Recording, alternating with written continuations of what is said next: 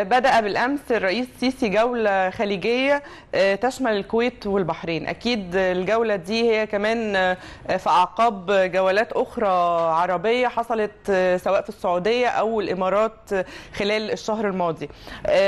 ملفات عدة الحقيقة في العالم العربي مفتوحة سواء ملفات في مجال التعاون الثنائي بين مصر وهذه الدول أو ملفات عربية وما أكثرها من ملفات. هنتكلم النهاردة عن زيارة الرئيس للكويت والبحرين. وهنناقش الزيارة مع العميد سمير راغب رئيس المؤسسة العربية للتنمية والدراسات الاستراتيجية. نهارك سعيد يا فندم. أهلا بيك نهارك سعيده الحقيقة الجولة دي جت في أعقاب زيارة السعودية زيارة الإمارات. يعني في اهتمام بمنطقة الخليج الفترة اللي فاتت. يا ترى ليه؟ هو لو جمعنا إحنا الأربع دول السعودية الإمارات البحرين الكويت تمثل مجلس التعاون الخليجي اللي هو الجناح النشط المعتدل. آه. هو ناقص النشط المعتدل. النشط المعتدل. آه. أنا بقول ليه ناشط؟ لأن عمان ضمن التعاون الخليجي لكن مش دولة مش نشطه في لأنها بتاخد الحياد دائما حول كل القضايا سواء الصراع اليمني الليبي السوري. ما يعني ما بتدخلش نفسها في الأمور قوي بتقول دايما يعني أنا أكون مرشحة دائما لاستضافة التفاوضات. آه. وقطر دولة مارقة فهي ما ما لا تمثل الاعتدال عشان كده أنا حددتها بالاعتدال والنشاط. آه. آه الموضوع آه أن ما بعد آه وصول ترامب وهناك انتخابات في فرنسا العالم بيعاد صياغته يحتاج رؤية جديدة. في الناس اللي قابلهم ترامب كان الأمير محمد بن سلمان ولي ولي العهد السعودي وزير الدفاع. بالإضافة للملك عبد الله بن الحسين والرئيس عبد الفتاح السيسي وفي زيارة مرتقبة وزياره وزيارة مرتقبة الزيارة دي كان رويتر طلعت امبارح ملخص لتسريب ب 11 ورقة أوه. تمثل استراتيجية ترامب لمكافحة الإرهاب في المنطقة أوه. اللي اللي هتعقب زيارته لمصر وإسرائيل والفاتيكان فلا بد من وجهة نظري طبعا يعني أن يكون بس هو ليه اختيار مح... ليه اختار محطته الأولى السعودية زي ما أوباما اختار مصر هو أوباما اختار مصر باعتبار إنها بلد الأزهر ففضل إن هو مم. يخاطب العالم الإسلامي من بلد أكبر مرجعية أوه. في العالم اللي هو الأزهر الشريف أي. هو رأى إن السعودية بلد القبلتين بلد الحرمين وقبلة المسلمين مم. وهو عبر عن ده بشكل واضح مش ده مش أوه. تحليل يعني فرأى إن هو يخاطب المسلمين من قبلته وصرح إن هو هيقابل قاده عرب في الأغلب طبعا مجلس التعاون الخليجي على هامش لقائه بخادم الحرمين الشريفين. طب لو ربطنا التسريبات اللي حضرتك بتتكلم عليها بتاعت امبارح دي بالزيارات الخليجية اللي قام بيها الرئيس عبد الفتاح السيسي إيه هو المنطلق اللي خارجة منه خطة مكافحة الإرهاب من وجهة نظر الرئيس الجديد ترامب؟ اولا فيما يتعلق بمكافحة الإرهاب هو تخلى عن مبدأ من مبادئ الديمقراطيين هو التدخل في في ثقافة الدول.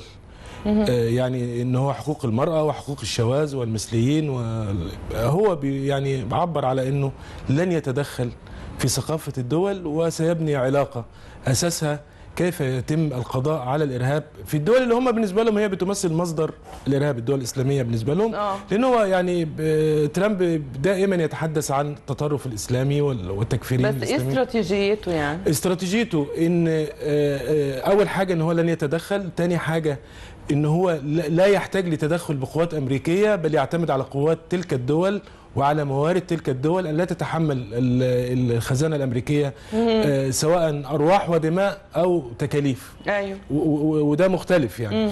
آه وده كان واضح من برنامجه كمرشح. آه هناك رؤية جديدة تحتاج للعرب أن يكون لهم من سيتحملون أعباء الفاتورة. أيوه. يعني لو حد متخيل إن ترامب جاي يكافح الإرهاب بطريقة الجمهوريين قبل كده سواء في التسعينات ومخططات الشرق الأوسط الجديد والكبير أو حتى طريقة الديمقراطيين على مدى دورتين رئاسيتين الموضوع مختلف. ما يتعلق بتسويات الملفات المشتعلة سواء الملف السوري الملف اليمني الليبي. آه. لابد من من رؤية عربية مشتركة وخاصة إن تراجع الدور العربي في كافة الملفات. يعني ليبيا بتدار برباعيات دولية سوريا بتدار في الاستانه على أراضي غير عربية باطراف غير عربية. الأطراف الضامنة هي تركيا وإيران وروسيا الاتحادية آه، فبالتالي آه، بصرف النظر كنا مؤيدين. وقوات التحالف. لا هو التحالف في استانا دوره متراجع الحقيقة. يعني لا أقصد قوات التحالف آه، أمريكا وفرنسا و... هو التحالف دلوقتي بعد ترامب ابتدى ياخد منحى أنه يحارب داعش ودوره أصبح خجول في- في- فيما يتعلق بالمناطق الآمنة اللي هي الاتفاقيات ال- ال- اللي خرجت خلال الأيام الماضية.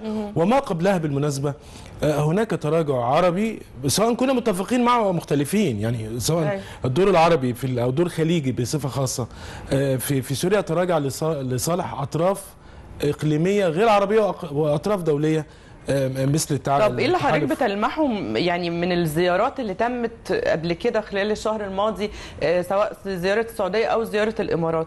بتتوقع إيه إيه يعني إيه التوجه؟ يعني إيه اللي ممكن نستشفه بقى من التتابع اللي جاي بقى من الكويت والبحرين؟ يعني السكة رايحة فين أو هدف الحقيقي للزيارات دي إيه؟ اولا آه، يعني من وجهة نظري هيكون على رايها على رأسها تغيير وجهة نظر العربية والعناصر الخليجية الفاعلة أها. فيما يتعلق بمستقبل سوريا سواء برحيل آه، بشار أو بقائه. لأن وجهة النظر المصرية كانت واضحة جدا أن الس- السوريين دون غيرهم من يحدد مستقبل سوريا سواء ببقاء ال- الأسد أو رحيله. آه، ودي بدت آه، من جهود مصرية في قمة البحر الأسود.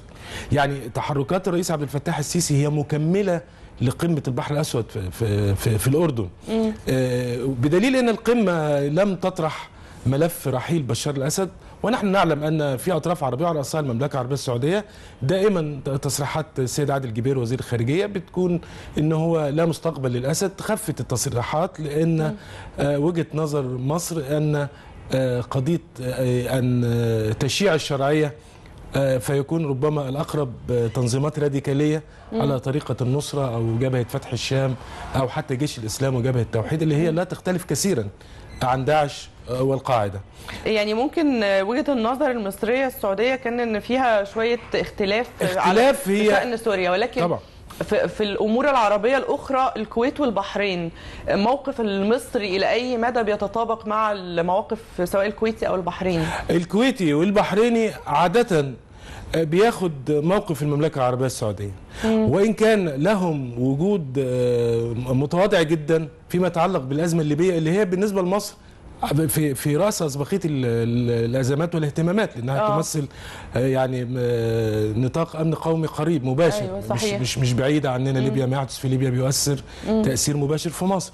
فمطلوب إن مجلس التعاون الخليجي بالكامل يكون له رؤية قريبة مع مصر يعني يعني مع مصر والإمارات. طبعا الإمارات هي متقاربة بال- بالطبع مع مصر. والأردن فيما يتعلق بالأزمة الليبية متقارب مع مصر.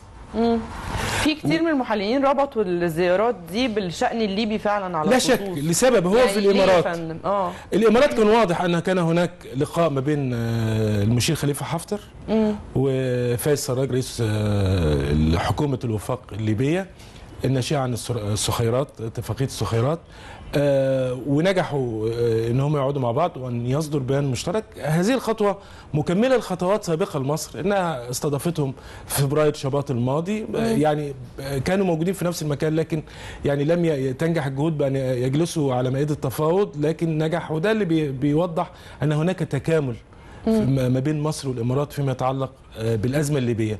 آه، باقي الدول البحرين الكويت آه، موقفها واضح في إنها آه، تساند اتفاقية السخيرات لكن مساندة اتفاقية السخيرات أنا من وجهة نظري ما بتعكس آه، انغماس في في الأزمة أو آه، محاولة للحلحلة. لسبب اتفاقية السخيرات ما كانش بتنص على آه، ال- المشير خليفة حفتر. و- وأن الحل يعني لابد أن يتم ما بين الشرق والغرب في وجود خليفة حفتر في وجود عقيلة صالح آه، رئيس البرلمان آه، بالإضافة لل- للحكومة الوفاق الوطني. لسبب حكومة الوفاق الوطني آه، السخيرات ادتها آه، اعتراف دولي وشرعية دولية أن يتحدث السراج آه، باسم ليبيا. لكن لم تحصل على آه، الشرعية المحلية أيوة. لأن البرلمان الليبي المعترف به دوليا برئاسة عقيله صالح لم يعترف بها ككيان. فأصبح هناك آه، آه، خلل في الشرعية. آه. يعني عقيلة صالح وحكومة جبهات. السني آه. اللي هي حكومة الشرق. غير معترف بها دوليا ولكن لديها الشرعية المحلية ومن بعض الأطراف العربية منهم مصر والإمارات والأردن. بالإضافة لإن مطلوب رفع العقوبات والحظر ال- ال- الدولي على على السلاح للجيش الوطني. ولن تتم القضاء على الميليشيات إلا بجيش وطني موحد وأن باقي الميليشيات آه، تندمج في في هذا الكيان.